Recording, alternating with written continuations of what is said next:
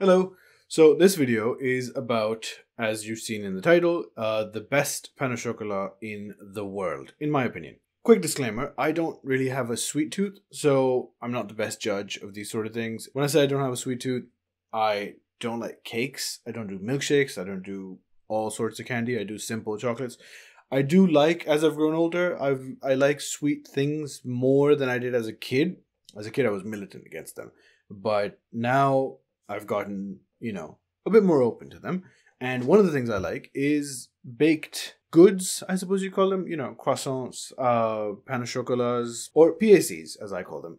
Um, I like those quite a bit. Over the past couple years, I have discovered a specific sort of pain au chocolat, and here in Dublin, and then also in a city that I like very much, Manchester.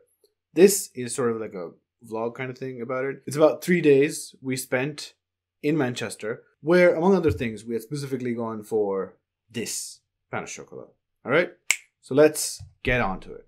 Day one. This is me at home pacing at 3 a.m. waiting for our cab to us to the airport for our flight at 6.30. We are looking to get there three hours early because Dublin Airport had some wild cancellations a couple days before because so many people were out for COVID. Get to the airport at 3.30. It was, of course, empty it was so empty and we got there so early that the airport wasn't even open. They had the shutters down on the stores and parts of the airport, like the way to the gate. And we're just waiting. We're waiting for like 20 minutes maybe until the shutters go up and we get through the airport. After another hour or so, we make our way to the plane. The flight's okay. We get to Manchester and they're checking passports. Got through the airport, got to the bus, got on the bus, got to our hotel, which is close to Wilmslow Road threw our bags in, got back on the bus, headed to the city center, got off at the city center. It's about 8:45 at this point. Made our way all the way up to the Ancoats area. Walked down this marina kind of thing where you can see all these houseboats all the way to our destination, which is Pollen Bakery. Pollen's a sourdough bakery, which means that they bake sourdough things. They are very popular and you know there's usually a line out the door before they open and most of their pastries and stuff they start selling out in like a couple hours things like the chocolat I love this chocolat. I love firstly that it's really big. It's enormous. I don't know if that's the sourdough thing. I don't know what the science is between regular and sourdough, but it's huge. It's huge. It's firm, holds its shape. It's obviously crisp, has all the layers. It's not too sweet. It has just the you get the taste of the butter, the bread, slight hint of the egg wash. The chocolate is solid and just a solid bite. And you know how I said I don't like sweet things really? This is like maybe two steps away from being like a full on savory pastry. So yeah, rest of the day we spent, I just had work to do. We didn't do much. I didn't record much. Uh, and then day two, we decided to take a break from Pollen Bakery. So we went about the city. We started off at Foundation Coffee, which is a solid coffee chain. You, you'll find them throughout Manchester. They have pretty decent coffee, lots and lots of options.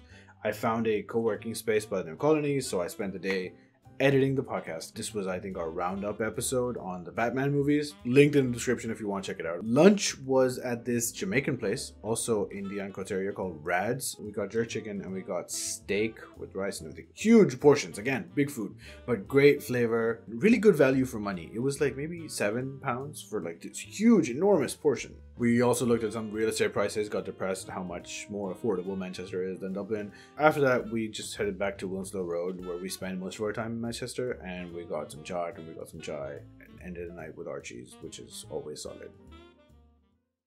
But day three, though, woke up early, checked out of the hotel, got on the bus to the city center, got to the Ancoats Marina area, and made it back to Pollen again. I mean, we had to. This was the day we were leaving, so we had to get it one more time uh, before we left.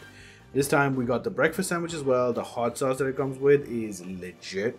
Uh, but for me, the main attraction was still the PAC. After Pollen, we headed back to the city, did some light watch browsing, Grand Seikos. We also hit Idle Hands later that day. It's a cafe. They specialize mainly in pies. We got some pies to take away. Manchester has great cafes. We headed back to Wilmslow Road. We taken a couple slices to have with shisha and tea with our friend over there.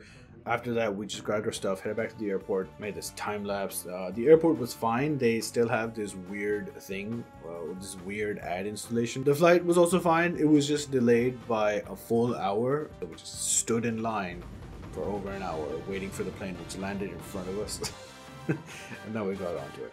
But yeah, that was that was it. That was Manchester. That was our trip. That was why we went. sourdough pain au or croissants or anything, just sourdough pastries. I big big bites. yeah, that's where it's at. Uh, we then yeah we just sat home for a couple days, feeling sorry for ourselves that we couldn't go to Pollen, but you know not too bad because a couple days later we just went to Bread Forty One, which is a sourdough bakery in Dublin, and you know what I got there.